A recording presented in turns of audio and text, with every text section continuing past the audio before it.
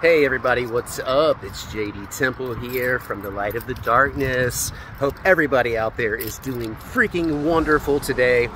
Look around, take a look around. It is a beautiful day. The sun is shining, the clouds are out.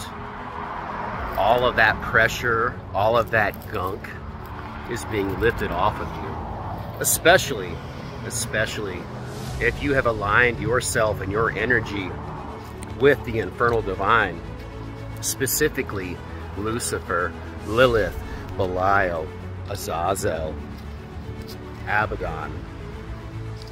The list goes on and on, but I want you to know, if you've been putting in the work, if you've been aligning yourself, if you've been putting yourself into the fire through initiation with these spirits, good things are coming, big things are coming, fall is here. If you're a witch, that's got to be your favorite season, and I know it is. If it is, put that in the comments below if you would, because I want to know if you feel like I do, baby.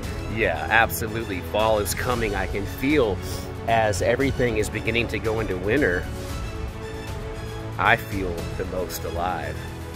Yeah, it doesn't make any sense, does it? But for a lot of us, our lives do not make sense to everyone else around us, but that is okay that is okay.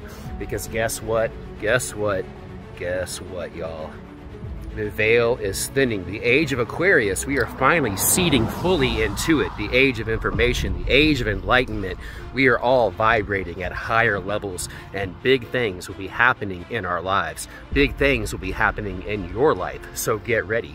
Get ready. Everything that you have wanted is about to come to you. Your wildest dreams are about to become into fruition. Keep on pushing forward. Keep on performing your magic. Don't doubt it. Don't doubt it. Not even for a second. I love you all. See you soon. Hail the Infernal Empire.